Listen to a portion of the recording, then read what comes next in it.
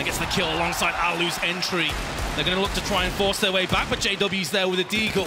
CZ for Mixwell's not good enough. JW picks up another one. It's a three on two, albeit with JW very low. And no kits in the hands of Fnatic for the time being. They've got a Molotov, though, which, if placed correctly, could actually just straight up win this round. It's been tossed to the Shadow. Neither of the terrorists are there right now. Friberg had a phenomenal round in the last one, is still alive and very much kicking, but he's all by himself. Friberg's going to try and line them up, and JW with three health going to try and clutch, but Friberg is too damn good.